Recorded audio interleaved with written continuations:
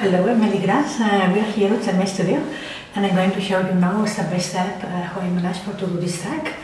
Uh, that is sort of an experimental music work. Um, I also does uh, uh, pop music, but this is more an electroacoustic work. It's not exactly, but it's close to, to this kind of sonorities. And uh, well, um, you will see it's a kind of composing with very raw materials. I mean, I don't treat the sounds, they are free of effects. And I also have a very raw way of editing, at least in this case. And I think it could be interesting for somebody, for you, perhaps, if you like to, to see how I work. Well, so, let's go. Then, um, the first thing I did for to do this track is to record a piano harp. I'm here setting uh, outdoor studio for recording the piano. So I'm waiting for the friends, but in the meanwhile I'm, I'm connecting stuff. So for coronavirus uh, troubles, we have to record it here in the patio of the Cultural Center, Convent de Sant Agustí.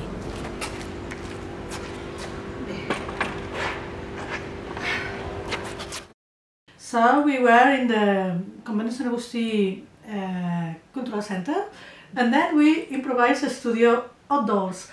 Um, we had three microphones, one below the piano and another two over the piano, in order to record the different, the different sounds.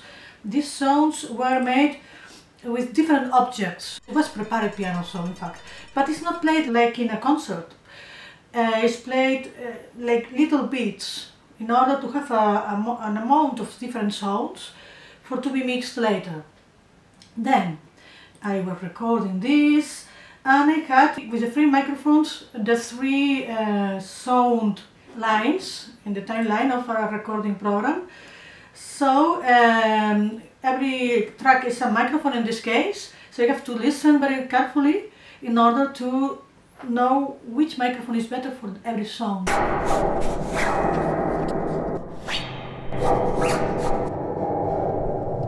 No, it's not always the same. There was ambient sound that we don't want, so apart I have to clean the audio, listen what's, if somebody's talking, if a neighbor uh, low strong, a lot of dogs. so I have to listen, I have to mark, I have to mark where the different sounds uh, begin, you know, a different object for to play the piano makes different kind of sounds. So here I mark a brush or I mark another thing. So by instance I have here the brush, uh, here, and then a part of cleaning the audio is put the sounds apart so every track have a different sound. It's like a different instrument but it's not. It's uh, the same instrument, different sounds with this instrument. Then when I had this, the first uh, line of sounds without editing, um, I was synchronizing the videos with it with the sounds for to have an idea of uh, which sounds is with which image. So if uh, there's a moment that I want to show you in the minute 90 something, there's um, some sound, I go to the minute 90 something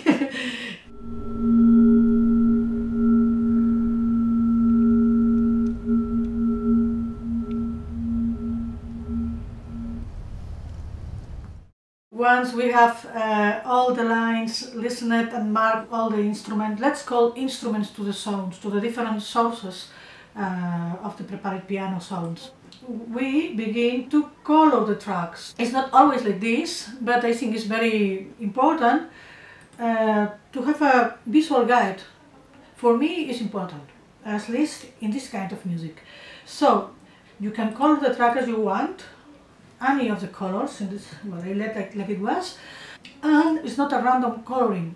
I put the colors of the objects um, that are sounding with the piano. So if I use something that is red I use the red. Because so I don't have to read. When I'm mixing or cutting if I mix one color with the other so it's a it's a big difference to know uh, which instruments are mixed. No if we see on the, the more advanced process you see there's a lot cuts and probably I will do this kind of moving. Sometimes I have to do, and so it's a way to know uh, how many songs are in the same line. I think it's gonna be very boring if I don't stop talking. So better let's go to the action. I'm going to record this thing.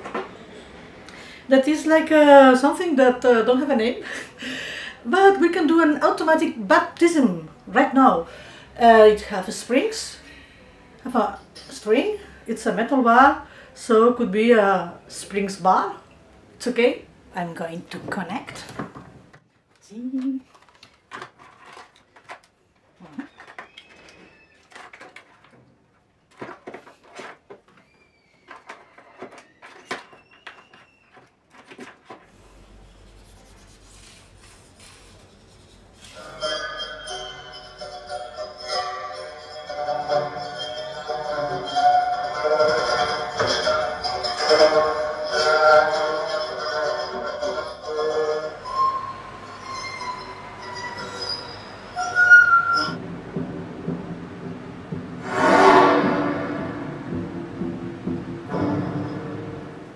And also a little bit of this because I love I love uh, metal strips. I love the sound ah well it's not sounding. Uh, but because it does things that sometimes only works with with connection I'm sorry. It's not very impressive if it's not connected. Well the thing is that I'm going to record some part and let's see what happened later. You can um, also do, I use some, to do sometimes symbols, especially for the sound mixer, in order to have even more clear. In some occasions, yes, for to do also a score, a visual score, or to have an idea and mark and make a schedule, so that could be useful, drawing it or with a graphic design program.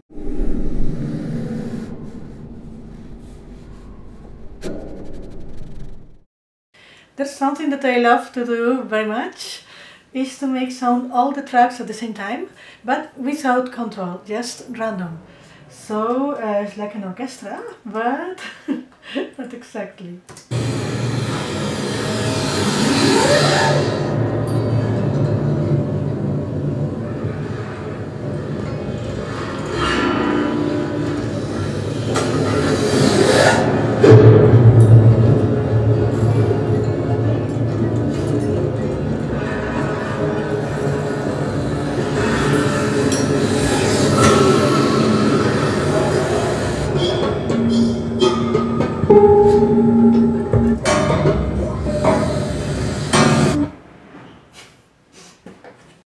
Then, in this case I have here like a pool. It's like a pool of not used sounds. I did like this now, is don't have to be like this, but it's a short track, I don't have to travel to one um, part with the other with different uh, windows. So in the same window, in this case, is useful. So I have here a pool and I have here uh, the items that are being used.